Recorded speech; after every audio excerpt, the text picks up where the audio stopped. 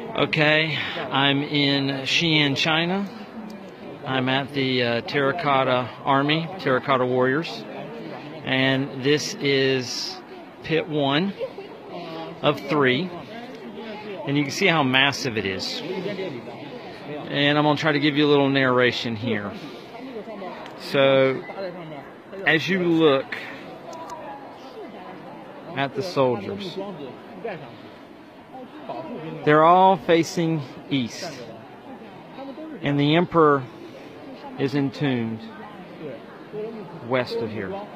So these soldiers are facing off any enemies in his afterlife.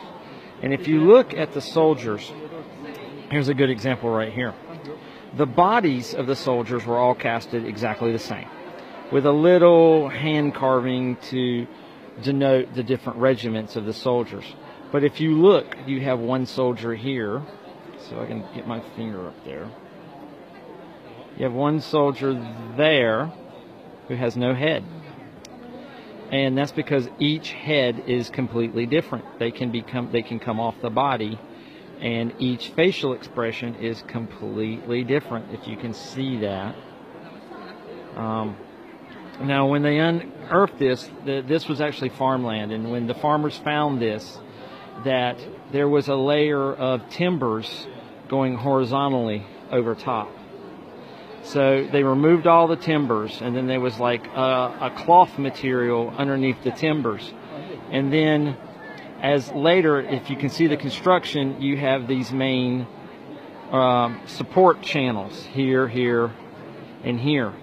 Going laterally across are little cuts where wood would go across like that. Where they, they come back across like that. And that supported the wood structure to keep the terracotta soldiers protected from the earth collapsing down. So that's why this area is so well preserved. Um, and this is a very large area.